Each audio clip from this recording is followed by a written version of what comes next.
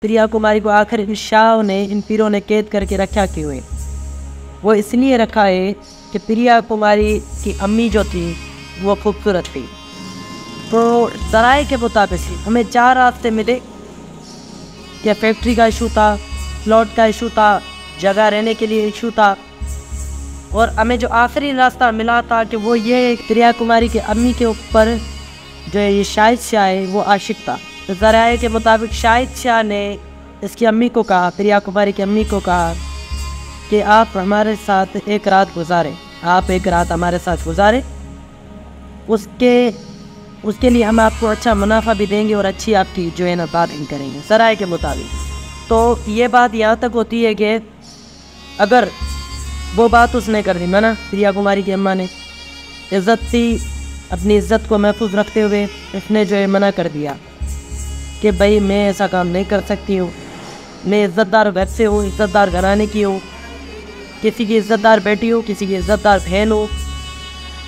किसी की इज़्ज़तदार वाइफ हो तो उस शाह ने दी को धमकी दी कि आपको इसके बहुत बुरे नतीजे भुगतने पड़ेंगे। वो नतीजे हम सारे सिंध भुगत रहे हैं कि आज हमारे पास प्रिया कुमारी नहीं है, इसकी वजह यही। दो साल हो गए, तकरीबन इस बात को कि बाईस मई में हो गए लगभग दो साल कि हम फेसबुक पे सोशल मीडिया के तौर पे सोशल जर्नलिस्ट की तरफ़ से हम पुकार रहे, चिल्ला रहे, सारे पोस्टें लगा रहे कि जो है प्रिया कुमारी को रहा करो, आज़ाद करो। मगर उस पर कोई जो है ना, ऐसा एक्शन नहीं लिया जा रहा है। हम इस बात को मद्देनज़र रखते हुए शाहिद शाह और जाहिद शाह से कहते हैं अगर आप इस बात में गलत हैं। अगर आप झूठे हैं तो हम इंशाल्लाह जल्द आपकी तरफ़ आ रहे हैं और आपको गले से पकड़ के घसीट के बाहर निकालेंगे। अगर आपके पास नहीं है, अगर आपके पास नहीं है तो आप मौकूफ़ दें।